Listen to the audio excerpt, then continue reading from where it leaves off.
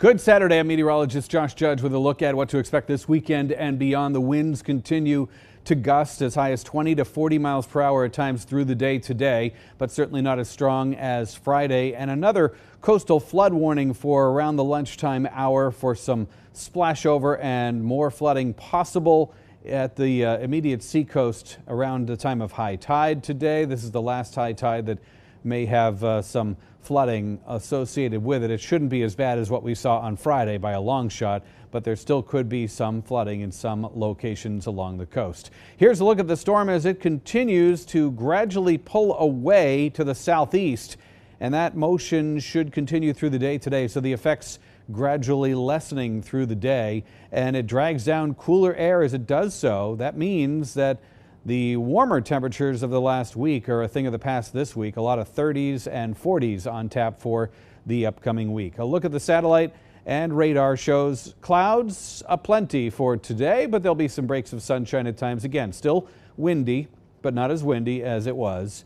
And uh, then as we go through the nighttime hours uh, tonight, cloudy to partly cloudy and some breaks of sunshine around in the morning on Sunday, but then Sunday afternoon it starts to cloud up and we could see this some light snow breaking out at times on Sunday afternoon and into Sunday night and early Monday morning. There's a chance that you could see as much as a dusting to an inch uh, from that in some locations. Then clearing away, but as we go through the upcoming week, look what happens. Another storm system is looking to form, and many of our computer models are bringing in the chance of snow and perhaps some mixed precipitation in southeastern New Hampshire as that storm system passes by. So that's the next one to watch. For today, your Saturday highs 40 to 45. Most locations, a few spots could get up to 46 or 47 with a few breaks of sunshine. Overnight, we're down between 25 and 30 degrees in most spots.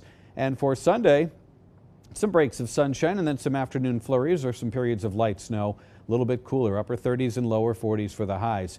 And your extended forecast for the week ahead, as I mentioned, uh, after a sunny Tuesday, another system bringing either snow or mixed precipitation. A pretty high likelihood of this, although it's not a lock just yet.